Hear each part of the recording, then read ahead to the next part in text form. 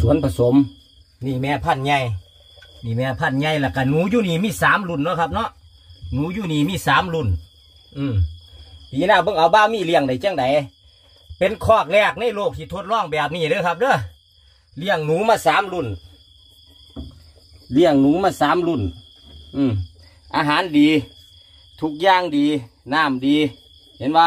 อาหารดี เลี้ยงมาสามรุ่นพี่น้องบ้าไม่อยากคูว่ามันอยู่น้ำกันได้บ่มันสิกินกันบ่มันสิกัดกันบ่ผลปรากฏว่าบ่กัดพี่น้องผลปรากฏว่าบ่กัด อืมดีครับ ดีงามพี่น้องผม